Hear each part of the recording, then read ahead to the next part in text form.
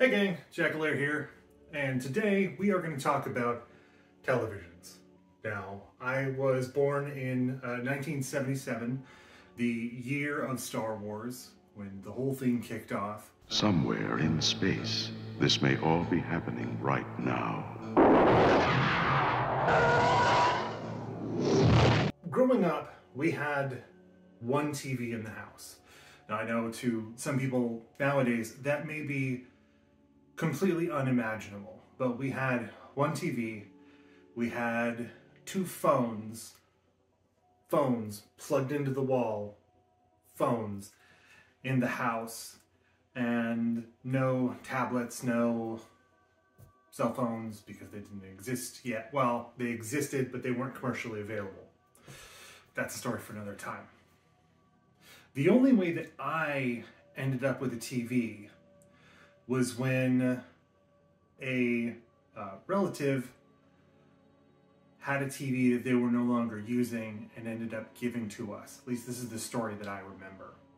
And it uh, sat in my room, uh, but I didn't get it until I was in middle school, I guess, maybe junior high. Uh, I, the thing that I remember is that uh, I watched Arsenio Hall when I wasn't supposed to, supposed to be in, asleep at that time.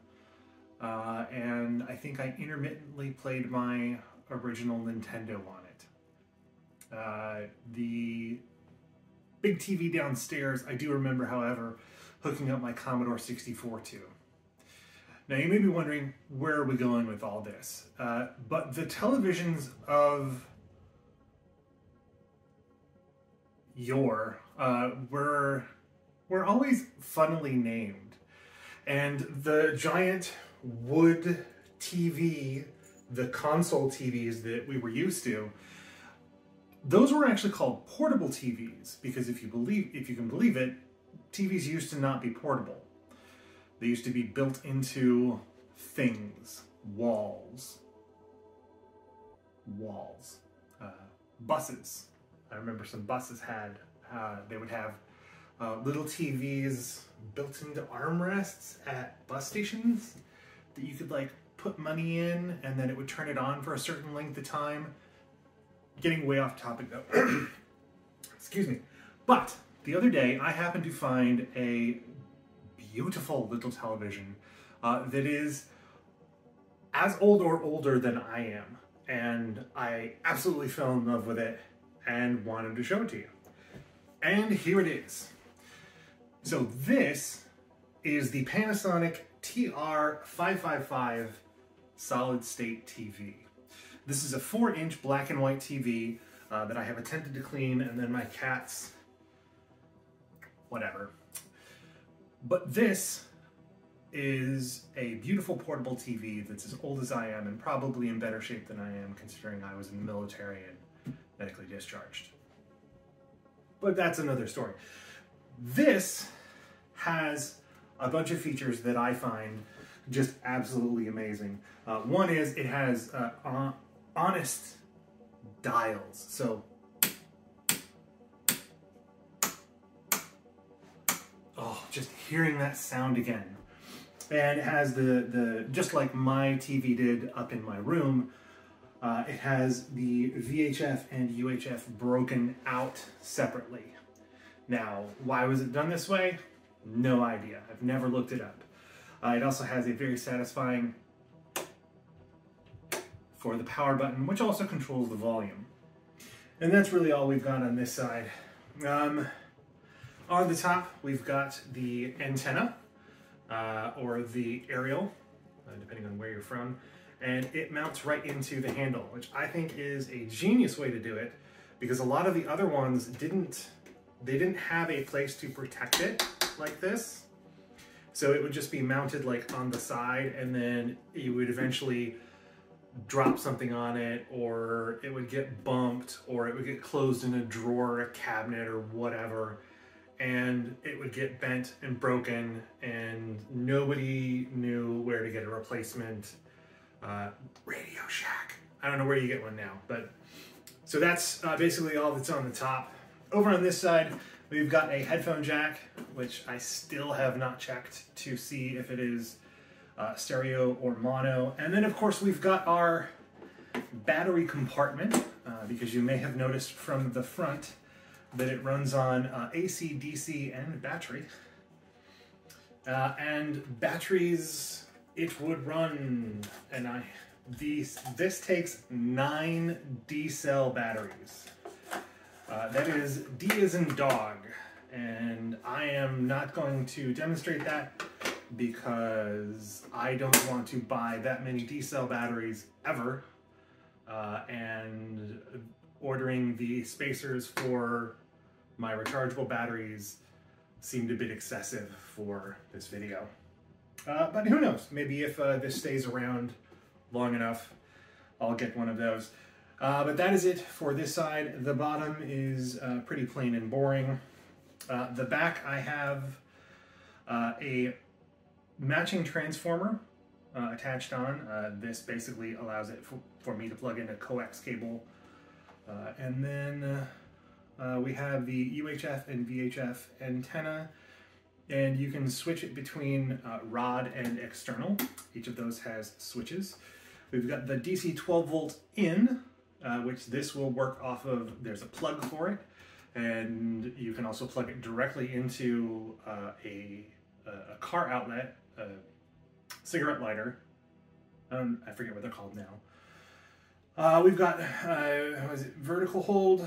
No, horizontal hold, vertical hold, because you used to be able to tell it, you can get it to scroll one way or the other. Uh, contrast and brightness, which I will never screw with again. I turned the dial once just to see if it still worked, and then I spent another five minutes trying to get it back to where it was.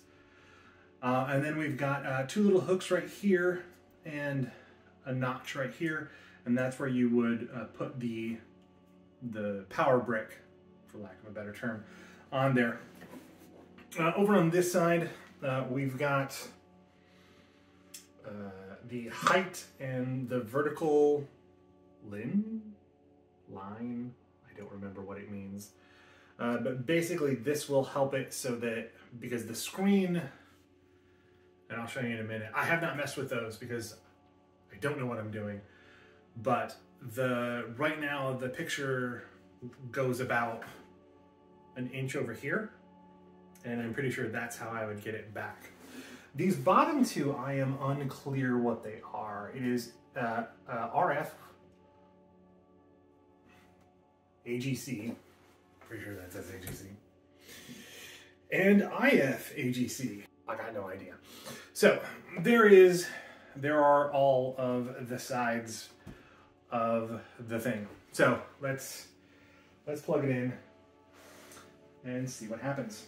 So to warn you, I've had to uh, do a little bit of uh, uh, handiwork on here, but it takes a, a normal barrel connector, uh, like you would expect, and uh, barrel connector plugs in there. And then this little beauty is the uh, was it TY 175P. It is made specifically for this model, and it tells you not to use it with other models. And it basically mounts right in here. And then it mounts on there. And then now we've got it mounted. Now I have had to do repairs. Uh, these are temporary repairs, uh, but it is, there was a, a, section in the cable that was uh, basically cut up like it had been slammed in something a handful of times. And it's got uh, polarized plugs, so one of the plugs is wider than the other one. Now, uh, so this is ready to go. So we can turn it on. And I can't see a thing, so.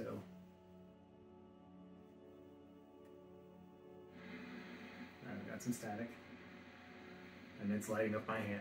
So here we are watching static, or what I like to think of as the universe. Uh, why do I think of it as the universe? Because basically what this does is this turns radio waves into a picture. Now, if they are organized by humans, it turns that picture into, it turns those radio signals into a picture. But this is just the background noise of the universe. Just something to think about. Now, so we've got a TV. This is way before the digital transition, transfer, transition. This no do TV no more. So I don't have a converter box. So what do we do? We get a VCR. So now, if ta-da! And I don't think I left uh, an actual tape in there, so let's just go ahead and just throw in this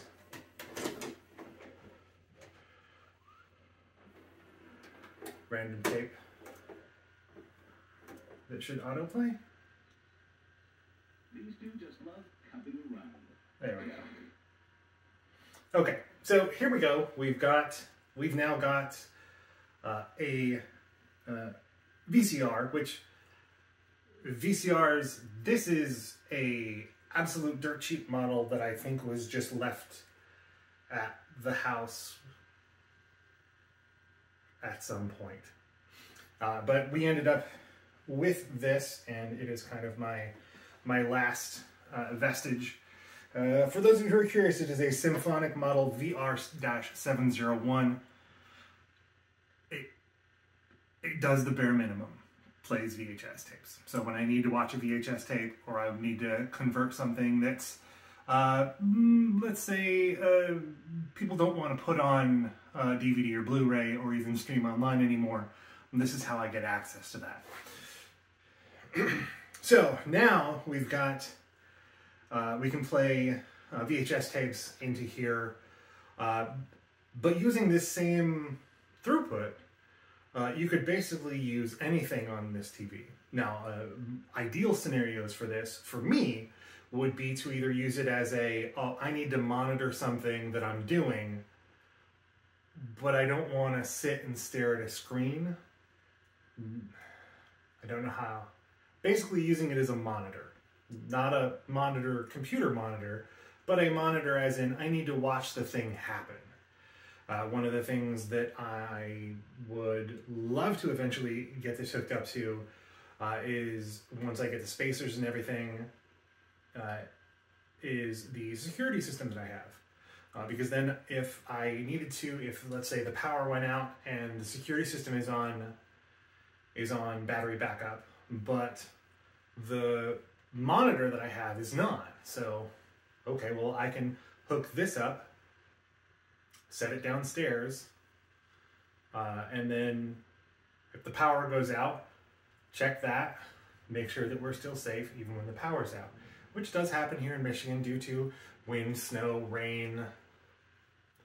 Most of the time when we lose power, it's the tree knocking things down.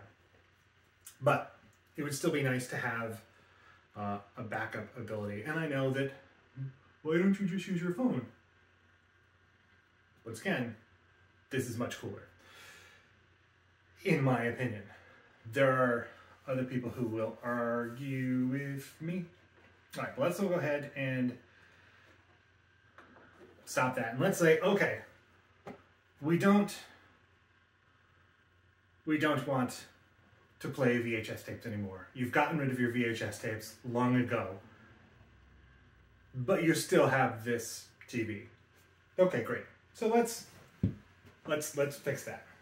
Okay, so this is my DVD player recorder, uh, PY uh, 90DG for those who are wondering, and let's. Pretty sure that's the on button. Yes. Okay, so now we've got this loading. So this can play DVDs. Now I've I've tested it, and if we want to get even stupider, I could bring in a Blu-ray player, and a Blu-ray player would play through this as well. What is the point to this? Nothing. But let's say that uh, you want to be really weird, like me, and you've you've decided, all right, kids, this week we're going to do everything like it's the 1980s. This came out in 1977, but TVs of this age still work just fine. So, if we hop in the the camper, the trailer, or the the van, the bus, whatever, the car, and you have access to a cigarette lighter, you can plug this in. And then get really weird. Okay, now we've got this plugged in, so we've got a TV. Maybe you bring a Nintendo. Fun thing to note is that you can get car adapters for almost anything. So if you want to play, let's say, your old Nintendo, you can probably get an adapter to plug that into a cigarette lighter in a car. And then you can sit and play Nintendo games on a time appropriate TV. Now, ultimately, is that a great idea? Probably not. Would your kids be entertained? You know your kids better than I do. But for me, my kids find this stuff hysterical because they know that I am one of the olds. So I have memories of things that they can't even imagine. Like watching uh, anything in black and white just mystifies them because it mystified me as growing up when suddenly it was like, oh, I can watch things in color. Because the weird thing is, is that all of the shows that I wanted to watch, with the exception of uh, some select shows, uh, which I think those were in the 90s anyways, but a lot of the shows that I wanted to watch, I watched on a very small TV, which meant that I watched it in black and white. And then eventually I watched it in color, and I was like, oh, these shows come in color. That's amazing. But what is the point of all this? Nothing. I thought this was a fantastic find. I thought it was interesting and I wanted to share it with you guys. So, here it is the Panasonic Model TR555. Oh, one more thing. This was a this was a whole group of Panasonic TVs that basically said, uh, why should your second TV do what your first TV does? It should do more. And I'm like, okay, that makes sense. So these were called the outsiders because they could go outside. And then once you got outside, you could watch whatever you wanted. One of the advertisements, I think, says you can watch the game while you're at the game.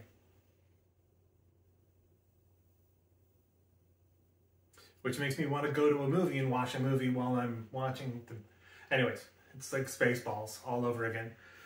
But there we have it. Uh, thank you very much for watching.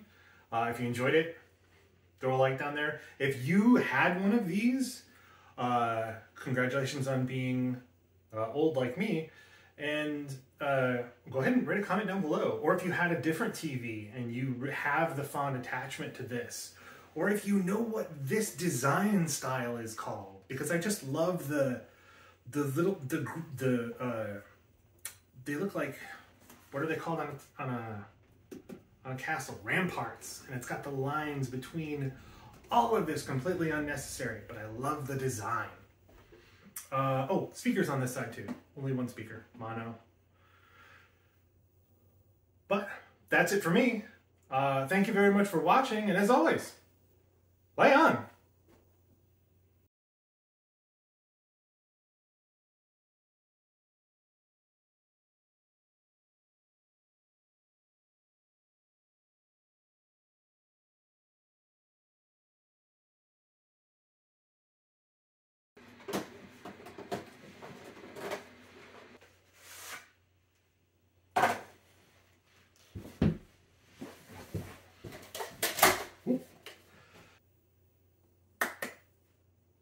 No, you're done.